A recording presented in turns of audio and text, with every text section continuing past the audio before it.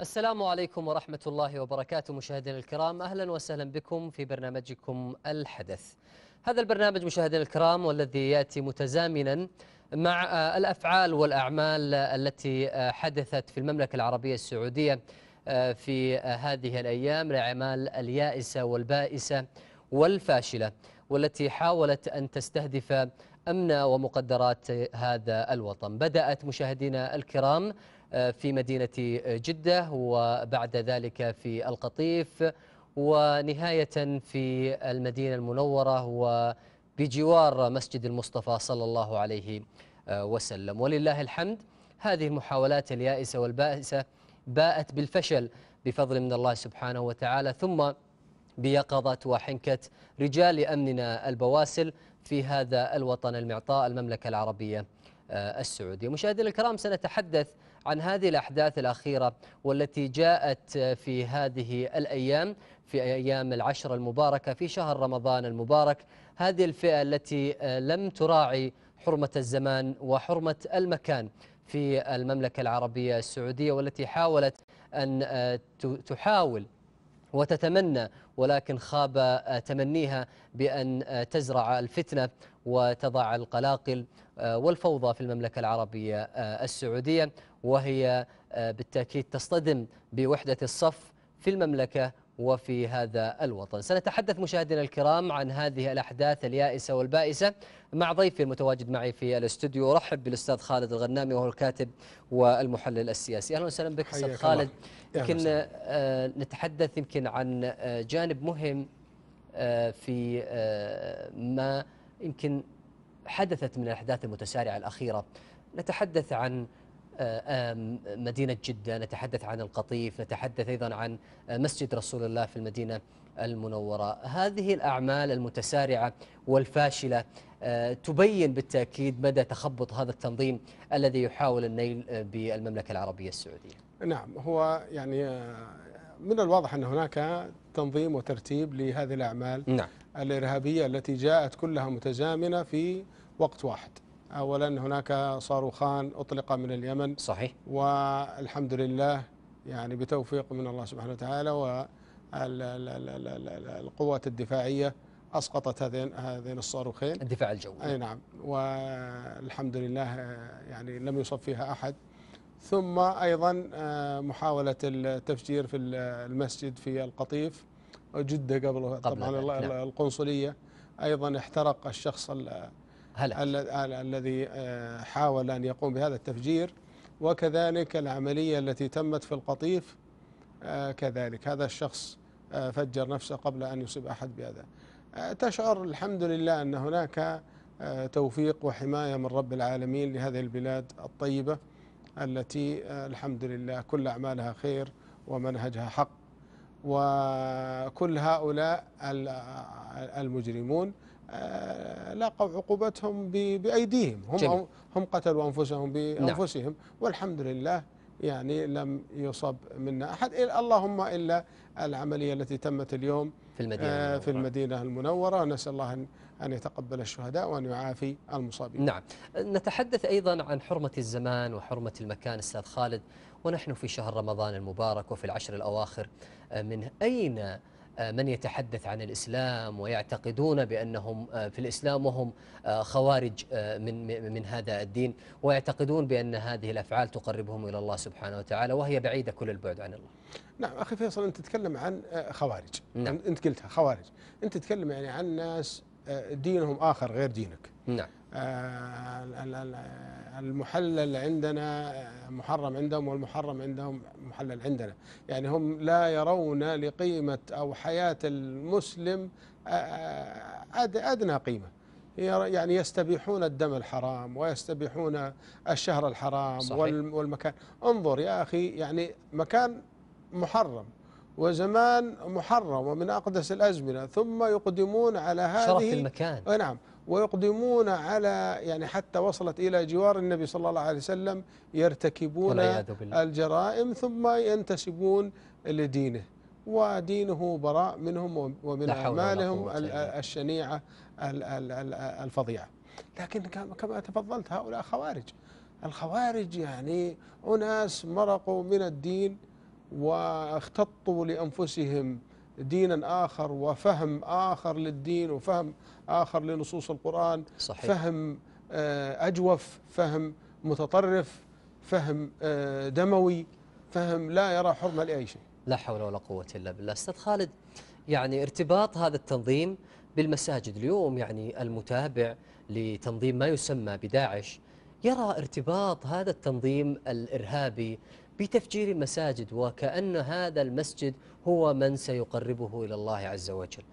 هذا التنظيم لماذا لا يختار إلا المسجد لكي يفرغ يعني شحناته ويفرغ غضبه في داخل هذا المسجد وهو بيت من بيوت الله؟ والله هم يسعون إلى إشعال النار الطائفية بين السنة والشيعة. نعم. ولذلك يتجهون إلى مثلا آه، مسجد الشيعة ليفجروا فيه نعم. ثم يت- يتبعونه بمسجد للسنة ولمحاولة التفجير فيه. المقصود في يعني كلا الليل في الحالات مكونات المجتمع. أي نعم الهدف منها إشعال نار الطائفية صحيح. و آه، يعني هذه رسالة نقولها لكل مواطني المملكة سواء كانوا سنة أو شيعة.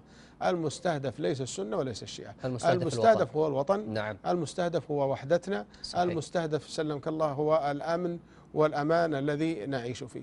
والحمد لله نحن منتصرون. الحمد لله. وكل هذه المحاولات مثل ما تفضلت يا أخي الكريم محاولات فاشلة ومحاولات آه، يعني ضعيفة وكيد يعني هزيل. نعم. وكلها بحمد الله مقدور عليها والمملكة العربية السعودية بقيادة الملك سلمان وولي عهده. الأمير محمد بن نايف وولي ولي العهد الأمير محمد بن بن سلمان والشعب السعودي كله من ورائهم الحمد لله صفا واحدا الحمد نحن لله. قادرون على مواجهة آه، هذا الكيد الضعيف جميل. ونحن قادرون على دحره والحمد لله. آه، أستاذ خالد يمكن يعني آه، ألا تعتقد هناك ارتباط بين العمليات الاستباقية التي قامت بها المملكة العربية السعودية بجهود وزارة الداخلية ورجالاتها؟ آه، العمليات الاستباقية قبل أشهر من خلال يعني القبض على الخلايا النائمة والخلايا النشطة في المملكة العربية السعودية. آه، ألا تعتقد هناك ارتباط بين هذه العمليات الاستباقية وبين ما يحدث من تخبط خاصة آه، من ناحية تفجير آه، آه، مسجد في القطيف إضافة المحاولة طبعا وإضافة إلى المدينة نعم. المنورة وإضافة إلى مدينة جدة هم طبعا لابد أن نشكر رجال الأمن البواسل الذين يعني بعد الله سبحانه وتعالى يقومون بحماية هذا الوطن نعم. ويتابعون هؤلاء المجرمون ويسهرون بينما نحن نائمون وننعم لله. بالراحة نعم. آه، بلا شك إنه عندما تنجح آه، أجهزتنا الأمنية في آه، القبض على هذه الخلايا النائمة ويقل عددهم يقل عدد هؤلاء فإنهم بلا شك سيحاولون المسارعة في تنفيذ ما هو مجدول عندهم من العمليات. يعتقدون بأنهم نعم. هنا يعني. وهذا هو هذا ما يؤدي إلى التخبط مثل ما تفضلت. وحقيقة يعني قبل أن نجاوز هذه النقطة لابد أن نقدم يعني الشكر والدعاء لرجال الأمن البواسل مثل ما ندعو للمرابطين المقاتلين على الحد الجنوبي. صحيح. هؤلاء ها يعني هاتين الشريحتين يجب أن نكثر من الدعاء لهم. ويجب علينا يجب على كل سعودي أن يكون كما قال الأمير نايف رحمة الله عليه أن يكون رجل أمن. صحيح.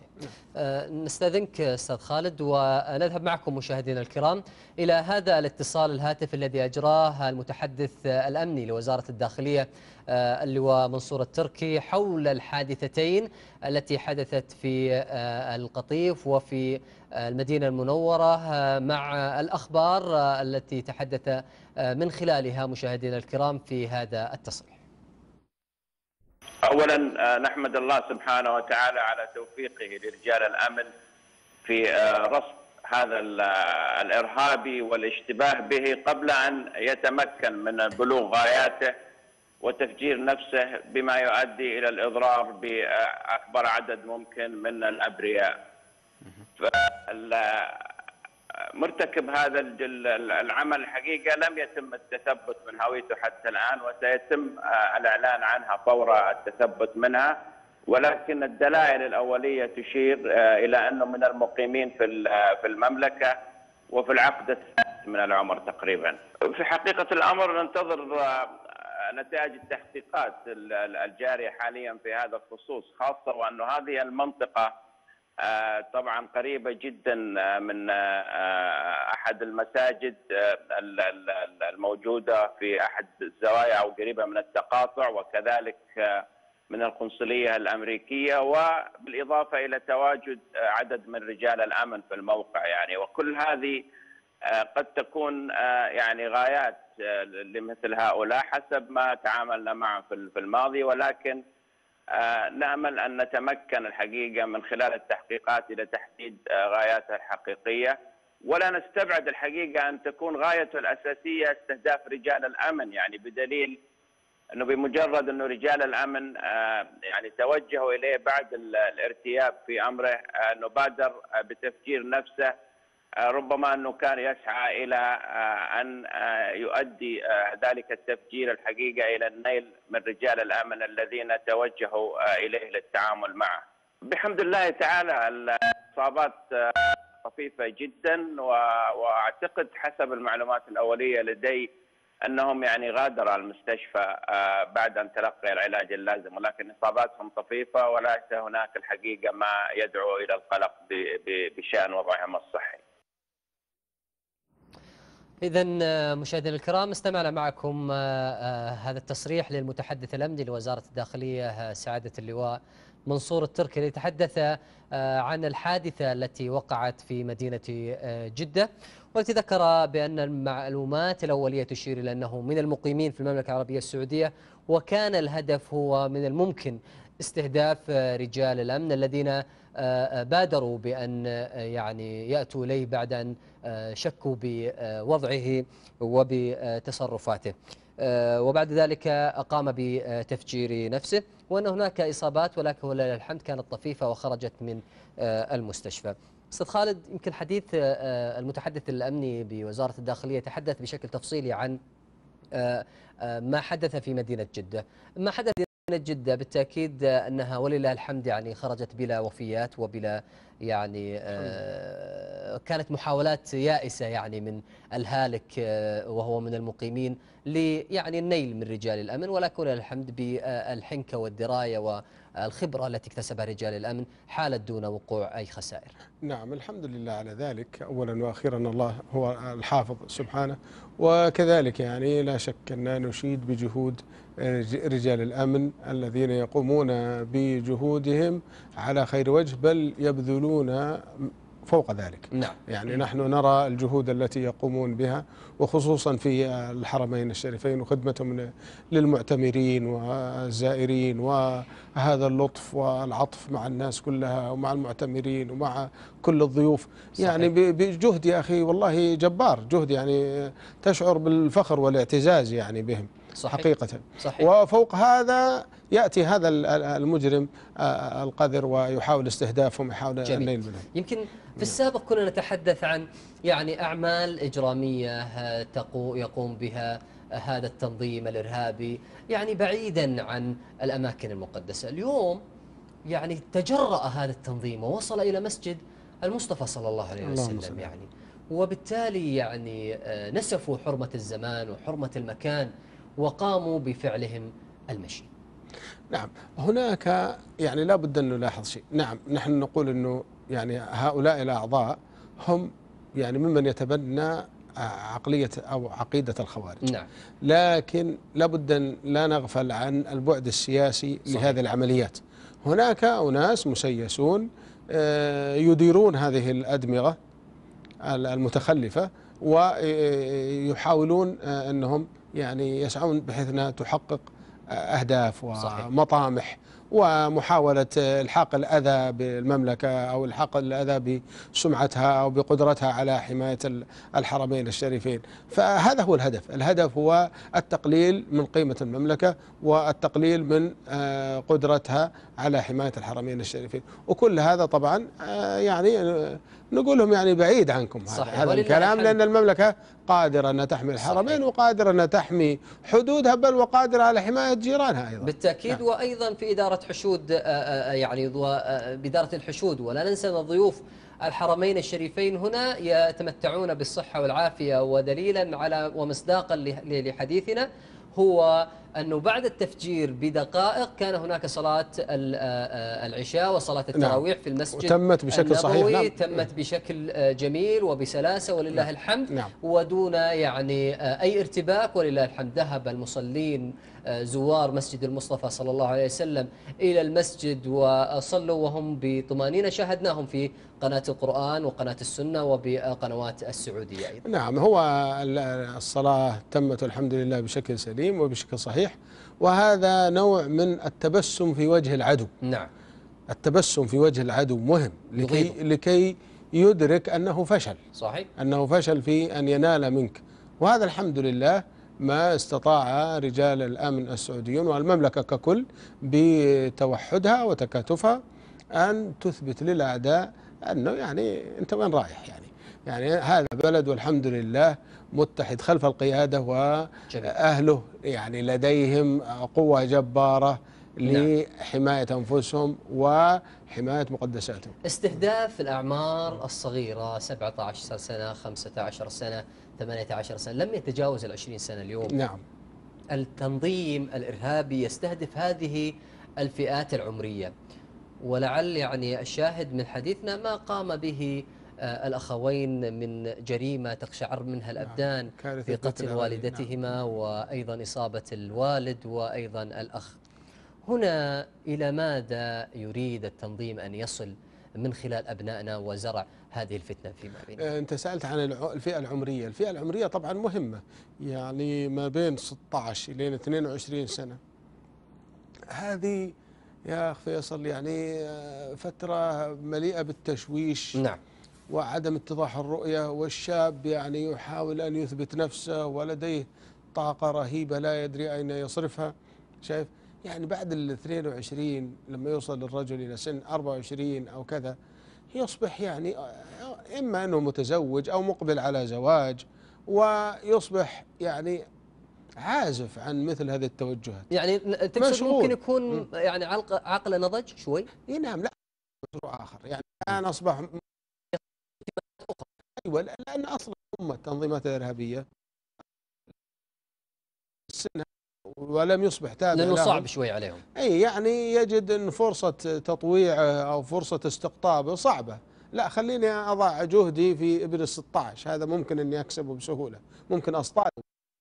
هذا اللي 24 لا هذا صعب نوعا ما يعني. يعني بلاش يضيع جهدي في صحيح. محاولة استقطابه فهم يستهدفون دائما ابن ال 16 إلى إلى 22 هذا يعني ولذلك إحنا نحرص كل سعودي يا إخوان وكل مسلم وكل إنسان انتبه لأبنائك في الفترة هذه فترة من 16 سنة إلى 22 سنة هذه يجب إنك تنتبه وتشوف ابنك إيش يعني ميوله كيف يقضي وجه يعني أوقاته مع من من, من هم أصدقائه يعني هذا مهم مهم جدا خصوصا خصوصا الأب يعني الأب هو المسؤول وهو الراعي صحيح. عن عن الأسرة يجب أن يكون لديه اهتمام ورعاية وخصوصا ونحن في هذه الفتنة ما أحد يريد أن يرى ابنه وقد أصبح مطلوب القبض عليه أو يراه في مشهد أنه يقتل أحد والديه صحيح صحيح آه نعود مرة أخرى إلى إلى آه، حادثة المشينة التي وقعت في مسجد المصطفى صلى الله عليه وسلم بجواره. يعني أيضا التوقيت الزمان يعني يعني والمسلمون مقبلون على المسجد ويريدون ان ان أن يتناولوا وجبة الإفطار وهم في دعاء ووقت استجاب دعوة. يستغل التنظيم هذا آه، آه، يعني آه، هذه الروحانية بأن يقدم أحد أنا, أنا أعتقد يا أخي فيصل إن العملية ذي عملية المدينة إنها ليست الخطة الأساسية. أنا أعتقد إن ما حدث اليوم هو الخطة باء. يعني هذا التنظيم كان يسعى لدخول المسجد وتفجير الناس في المسجد. لكن عندما حاول أن يدخل المسجد وفشل اتجه إلى أنه بما أنه يعني الآن معاه حزام ناس أو معاه نعم. مواد متفجرة آه، بلاش يعني. خلاص خليني أشوف لي أي رجال أمن جالسين وأفجرهم. هذه ليست الخطة الأساسية هذه الخطة البديلة فيما يبدو لي. يعني يعني هو رايح كان عنده هدف. إيه، كان هدفه دخول المسجد بلا شك.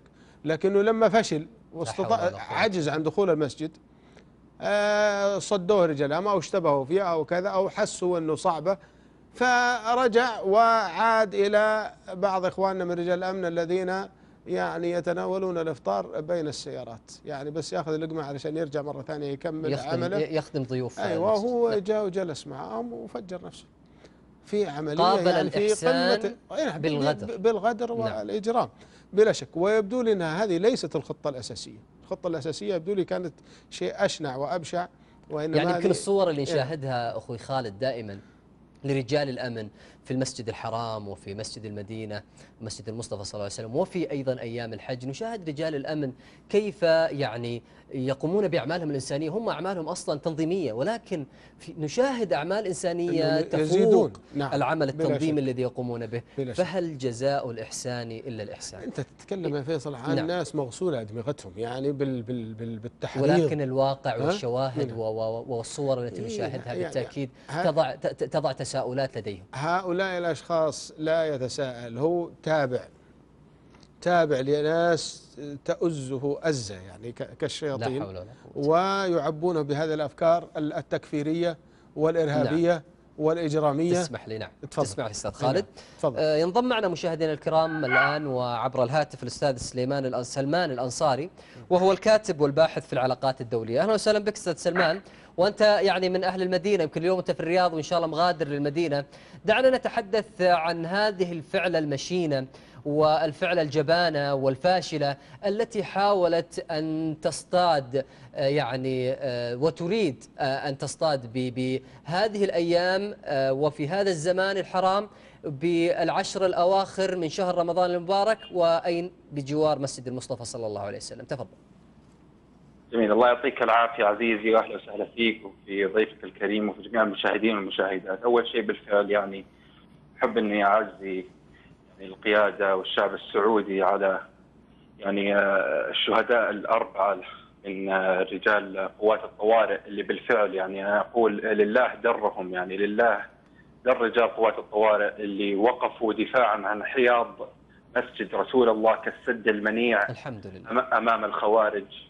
التكفيريين اللي أنا متأكد تمام التأكد بأنه آه، وضعهم آه، يعني وضع مريب جدا وليس فقط آه، نابع من فكر متطرف فقط بل من مخططات استخباراتية وسياسية من دول معادية وبالتحديد طبعا آه، حكومة إيران المتطرفة التي جاهرت بعداوتها للمملكة العربية السعودية وجاهرت من قبل بعض جنرالاتها في مسألة تهديد المملكة العربية السعودية وأمنها واستقرارها. وهنالك أيضا الدلائل كثيرة يعني مسألة التزامن الذي حدث آه، تفجير القطيف، آه، تفجير المدينة المنورة وفي جدة، نعم. هذا التزامن كله يدل على أنه هنالك رغبة حقيقية من الدولة المعادية الإيرانية لبث خلاياها سواء كانت شيوعية الهوى أو سنية الهوى، فإيران لا تنظر إلى هذه الأمور لأنها صحيح. تستخدم تستخدم الإرهاب بكافة أصنافه صحيح. آه، مثل جميع نحن ما نتكلم عن تقارير آه، آه، إعلامية نتكلم عن تقارير استخباراتية من عام 2012 والولايات المتحدة في المكتب الفيدرالي في داخل مكتبة الكون- الكونغرس تطرقوا بشكل كبير إلى الأعمال التخريبية الإيرانية من خلال ما يسمى بالجنود المجهولون لإمام الزمان وطريقه تعاطيهم مع الجماعات المتطرفة كافة وطريقه تعاطيهم أيضا مع الجماعات المتطرفة ذات التي تدعي بأنها سنية مثل القاعدة في تلك الفترة، فما الذي يمنع لإيران أن تستخدم داعش كما استخدمت القاعدة؟ جميع بما انه جميع التقارير الاستخباراتية تثبت بانه آه، هنالك آه، يعني دعم لوجستي كبير ودعم في السكن ودعم في وتمويل و لأعضاء القاعدة وقياداتها في آه، داخل إيران، فأنا أعتقد بأنه آه، المملكة العربية السعودية طبعا مثل ما نحن كلنا عارفين إنها حليمة ولكن حينما يأتي الموضوع إلى المساس بمقدسات الإسلام نعم. والحرم النبوي بجانب قبر الرسول عليه الصلاة والسلام فأنا أعتقد بأنه لن يكون هنالك مجال آه، للحلم بعد الآن. نعم أستاذ ضرب سلمان. الإرهاب بكافة صنوفه آه، مثل ما كنا وسنستمر. وستزيدنا هذه الأحداث صلابة واستبسال في مكافحة الإرهاب ومكافحة من يمول هذا الإرهاب ومن يحرض له ومن يدعم استخباراتيا من الدول نعم. المعاديه. أستاذ سلمان كنا نتحدث عن دلالات التزامن لهذه المحاولات البائسة واليائسة والفاشلة آه، في المملكة في هذين اليومين. جميل هو طبعا حتى قبل يعني ما يقارب الساعتين في تقارير إعلامية إيرانية من قبل وسائل الاعلاميه الإيرانية اللي تعتبر محسوبة الحكومة الإيرانية مثل العالم وغيرها تكلمت بشكل يعني يعني صراحة أنا أسميه شكل ساذج جدا في أن إنهم يدعون انه طهران أفشلت أكثر من 50 عملية تفجير إرهابية في داخل إيران. نعم. يعني كم كما لو كانوا يحاولون أن يصورون أنفسهم كما لو كانت إيران هدفا آه، آه، يعني من ضمن أهداف داعش، وهذا طبعا كلام لا ينطلي على أحد ولكن هم يحاولوا أن يسوقوا هذا الموضوع في هذه الفترة بعد التفجيرات مباشرة لكي إلى حد ما يصرفوا النظر خصوصا عن الإعلام الغربي والإعلام العالمي اللي أنا صراحة يعني أجده متقاعس بشكل كبير في تغطية أمور الشرق الأوسط وفي مسائل مكافحة الإرهاب بشكل حيادي ومنطقي. فهم في بقدر الإمكان يحاولون أن يصورون أنفسهم كما لو كانوا ما بينهم وبين داعش عداوة حقيقية. نعم. وهذا الشيء طبعا آه، يعني آه، جميع التقارير ليست الإعلامية بل الاستخباراتيه تثبت آه، عدم صحته، في مسألة التزامن إجابة على سؤالك هي يعني علامة واضحة صراحة. يعني مسألة تزامنها أيضا مع موضوع مسجد القطيف فهي محاولة إيرانية بقدر الإمكان لكي يبث يبث هذه الفكرة بأنه هؤلاء وهذه الجماعات هي جماعات ليست لها علاقة بإيران ولكن هذا الشيء لا ينطلي على على الباحثين في هذا الشأن خصوصا أن هنالك تقارير أيضا استخبارية تتكلم عن العمليات التفجيرية التي تمت في العراق في المساجد آه، الشيعة. أن هنالك ضلوع كبير لمؤسسات تابعة من بعيد للحرس الثوري الإيراني. نعم. ولماذا يفعلون ذلك في نفس ال- ال- ال- المذهب ويمثل هذا؟ لأنهم في النهاية لا يلقون بالا لا للدين ولا للمذاهب، هم يلقون بالا صحيح. للإرهاب وبث الفرقة في المجتمعات العربية لأنه هذا الموضوع وهذه الأرض الخصبة أي أرض خصبة يكون فيها آه، يعني آه، طائفية ستكون مدخل آه، جيد بالنسبة لإيران لكي تدخل وتستفيد سياسيا آه، بقدر الإمكان، فأنا أعتقد ان المملكة العربية السعودية واعية تماما إلى هذه الالاعيب ال- ال- الاستخباراتية القذرة من قبل الحكومة الإيرانية المتطرفه وعلينا ابدا ابدا أن لا نفرق بين موضوع أنه داعش هذه تعتبر سنية أو تسمي نفسها سنية فلهذا ليست لها علاقة بايران هذا كلام خاطئ تماما. جميع مثل ما ذكرت التقارير الاستخباراتية تثبت احتضان إيران لعصابات القاعدة والقاعدة هي داعش هي امتداد للقاعدة وما إلى ذلك. فانا اعتقد بأنه الحرب ضد الإرهاب ستأخذ منحى جديد في الفترة الحالية وعلينا بالفعل أن نكون يقظين أكثر وأكثر لأنه هذا الآن شكرا لك آه، أستاذ آه، سلمان. إذا سمحت لي آه، وقتنا يعني أزف والحديث معك لا يمل. بتحليلك المنطقي لهذه الأحداث وما تمر به المنطقة. ونعدك إن شاء الله بحلقات قادمة بأن تكون معنا. ضيفا الأستاذ سلمان الأنصاري وأنت الكاتب والباحث في العلاقات الدولية. شكرا جزيلا لك. يمكن الأستاذ سلمان أستاذ خالد يعني أخذنا إلى آه، سؤال أيضا مهم جدا وهو الهزائم التي منيت بها إيران في سوريا وفي العراق وفي اليمن وأيضا في آه، يعني محاولة للسيطرة على آه، لبنان. آه، كلها محاولات يائسة وفشلت بها. تحاول اليوم أنها تزرع القلاقل في داخل المملكة العربية السعودية بطرق آه، يائسة وطرق فاشلة. أنا أعتقد أن إيران تحاول أن تهرب من أزمتها الداخلية. نعم. عندما تكون الدولة آه، تعيش أزمة داخلية مع شعبها وتتوقع آه، يعني ثورة داخلية أو انقلاب عسكري أو ثورة شعبية فإنها تسعى إلى افتعال المشكلات مع الجيران. نعم. يعني من طبيعة البشر أنه عندما يشعرون أن بلدتهم مثلا آه، تخوض معركة في لبنان تخوض معركة في سوريا باسم المذهب باسم الانتصار كذا. يعني آه، نوعا ما هي تضعف آه، تهرب.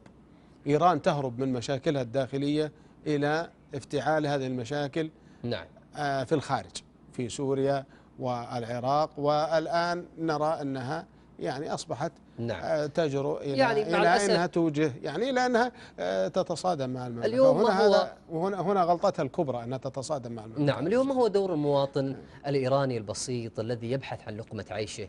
آه، في وسط هذا الفساد الكبير الذي تعيشه إيران الفساد الإداري والمالي والمواطن البسيط الإيراني لا يجد قوت يومه. المواطن كيف الإيراني يشاهد ما, ما, ما, ما يدور حوله في في هذه الدول؟ المواطن الإيراني يا أخي الكريم يعيش آه، حالة من الفقر آه، الشديد. نعم. ويعني برغم الأجواء الاقتصادية الخانقة في السنوات الأخيرة على مستوى العالم إلى أن إيران ما زالت تنفق آه، على على الحروب.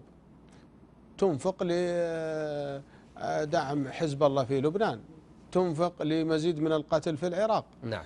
بينما شعبها لا ينال من الحصة إلا أقل القليل. واليوم كان في حديث يعني عن مظاهرات في إيران. يعني إيرانيين يرفعون اللافتات ويقولون آه، اتركوا سوريا والتفتوا لنا. صحيح. هناك هناك من يبيع. أعضائه في إيران لأجل سد قوت يومي مع أي الأسف. نعم. نعم هي بلد شك. يعني نريد أن نلخص هذه الحلقة من برنامج الحدث بهذه الأحداث التي مرت بها المملكة العربية السعودية ووجدت حصنا منيعا اتجاه كل من يحاول أن يمس شعرة من آه، أرض هذا الوطن بأمنه وأمانه.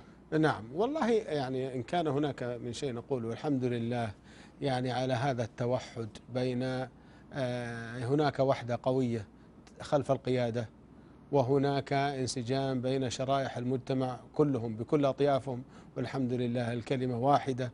ورجال الأمن يؤدون واجبهم وأكثر. ويعني إن كنا سنقول شيء يعني سنقول لإيران يعني آه، أنك تناطحين جبلا بهذه الأعمال. يعني أنا أتصور أنها الخسارة الكبرى وأن فعلا إيران تكون غير عاقلة إن كانت هي فعلا صحيح. من يقف وراء هذه الأعمال الإجرامية. ويعني هو قد ثبت تورطها وعلاقاتها. جميل. نحن نعرف أنه داعش والقاعدة هذول ناس مرتزقة. سلاح يؤجر لمن يستخدمه. ويعني جاء الحديث عن كذا آه، شخص من زعامات هذه التنظيمات الإرهابية عن علاقات آه، قديمة مع إيران يعني. شكرا لك الأستاذ خالد الغنامي أنت الكاتب والمحلل السياسي. كنت معنا في الحديث عن هذه الأحداث المشينة والمؤسفة التي حدثت في هذين اليوم. أنا شكراً. أشكرك أخي فيصل وسعيد اللي كنت معكم. الله شكرا يعطيك لك. وإذا مشاهدينا الكرام نسأل الله العلي القدير أن يحمي هذا الوطن آه، من كيد أعدائه. ولا يسعني في الختام إلا أن أقول هاتين الكلمتين. آه، أوجع المدينة أوجعهم الله. آه، عذرا يا رسول الله نمر من أمام قبرك. ونقرأ السلام عليك. ونشهد الله بأنك بلغت الرسالة وأديت الأمانة ونثني على صاحبيك أبي بكر وعمر ونستكن آه، وتستكن القلوب آه، بجوار آه، قبرك الشريف أيها الحبيب. وهؤلاء يخونوك وخانوا جوارك. اللهم أرنا بهم عجائب قدرتك. اللهم رد كيدهم في نحورهم. والسلام عليكم ورحمة الله وبركاته.